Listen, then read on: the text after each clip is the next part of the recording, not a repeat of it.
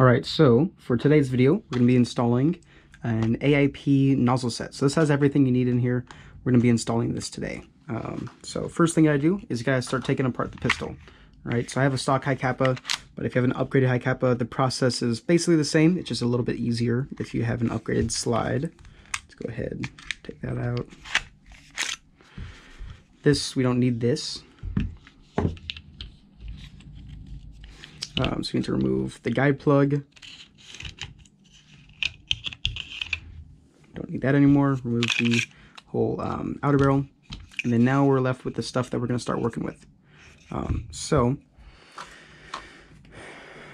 you're going to need to have a tool set. First thing is going to be a flathead to remove um, that screw up there.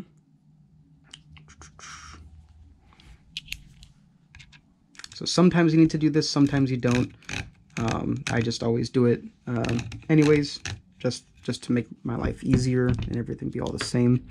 Um, so once you get that un unscrewed a little bit, there is going to be a Allen um, wrench back there that you need to get out. Um, let's see if this is, nope, I did not guess correctly. That is the correct one. So this is going to be a, oh, I already forgot, a 2.5 millimeter hex is what you need for this. And you unscrew the back of this.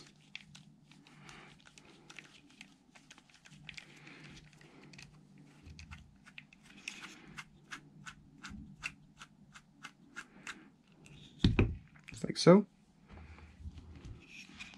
And then you need to kind of peel it apart like that.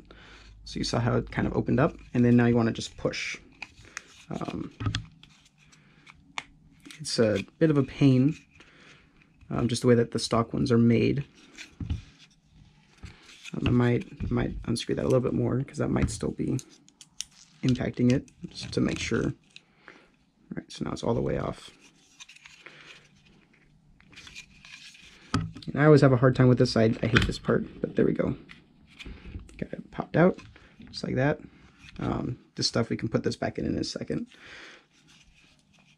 And then you kind of want to drop it this way. Your spring, pay attention to the direction that the spring is. It technically matters, but it's not a big deal if you get in backwards, but you want to have the, um, the, the heavy coiled up part to be um, back here at the back of the slide, basically. But we want to get that out. And then we can remove our nozzle because we don't need this anymore. That is going away. Now we need this. So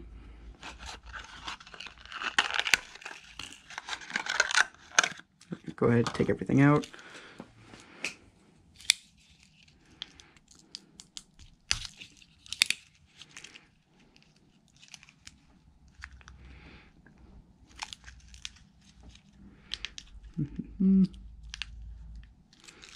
Maybe take everything out.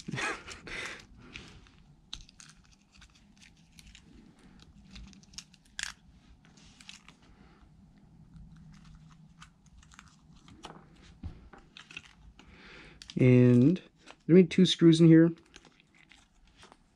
I am 99% sure one of them is an extra screw because I'm not used to there being two screws. Yeah, it looks like that's just the case. All right, so uh, installing uh, this stuff. So your spring, that's going to drop in first. You just got to just drop that in there. It'll just go in. And then this goes in next. Just drop it in so it's like a lighthouse. Lighthouse part is going to go on the top. It will eventually drop in place. Um, I can, my pinky fits inside of here, so you might be able to fit your pinky in, maybe not. Um, and then this goes in so uh, there's a flat side. Uh, the flat side obviously is going to line up with the flat side that's inside of the hole they might be able to see. Um, and then basically you need to have the open part um, is going to be facing down. So it, goes in like this. It doesn't go in like this. You can also look at the screw hole and you have to line up the screw hole with the top screw hole. Um, but you just drop that in again.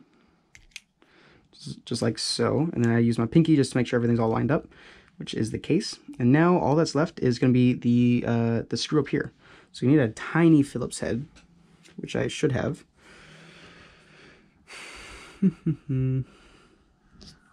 I believe this one might be small enough. Yep, it is small enough, so we're all good there. But basically, you need to push the um, it back until you can see the hole open up. So if you look um, how the hole opens up, you basically go to the, where the hole opens up, and then you just screw in the screw. It's not very difficult. It's kind of a process. Now, it's all set. It's all in there. It's all ready to go. Um, should function perfectly fine now. Now we got to put it back into this. So before we put it back in, I like to lube my nozzles.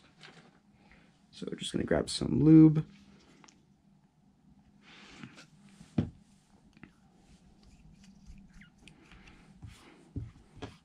Right. And then um, to put it back in this, you kind of have to rock it in. So you just go like this and it'll rock into place just like that. And then uh, make sure everything's all kind of free in there, which is the case, which is nice. And then again, uh, remember the, the spring, the kind of coiled up part goes towards the back, just like that. Now that's all good. So we just got to put it back into the gun.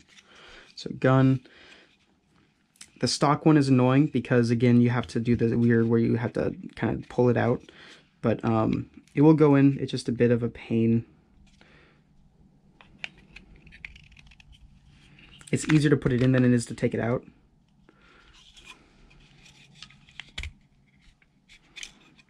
All right, I think I had to redo that. Yeah, my spring got all messed up.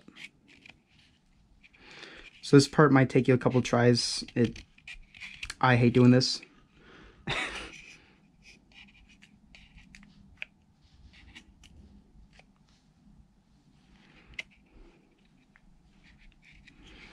This is one of the main reasons you're you're going to want to upgrade your slide to something better than the stock one. Just makes it so much easier to do everything.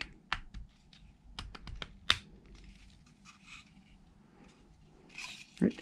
Looks like we got it. Oh, no, we didn't get it in.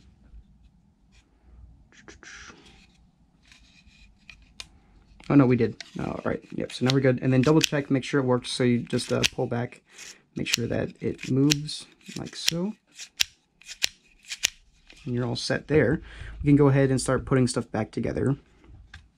So the spring goes in like this.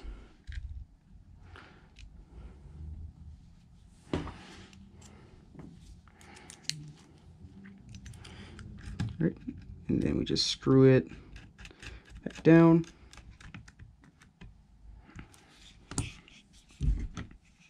And then we have the back part here the rear screw that goes in the back. And that just has to go in like so. If I can get it lined up, it's the deal.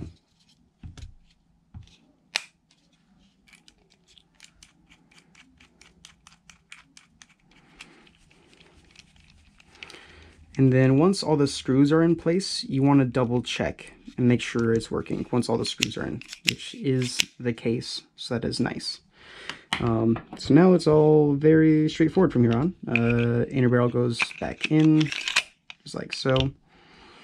Guide plug and guide rod go back in.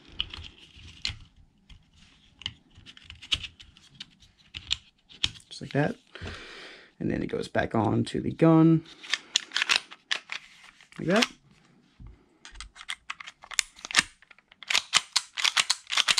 All right, you're all set. Um, I'll go ahead and grab some gas and just shoot it with the magazine, possibly.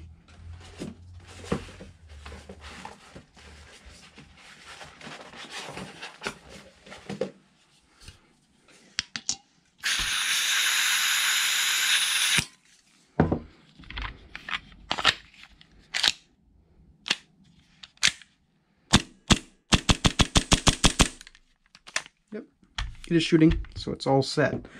And that's how you do that. I hope that was useful if you needed it. Um, otherwise, have a uh, have a nice day. Adios.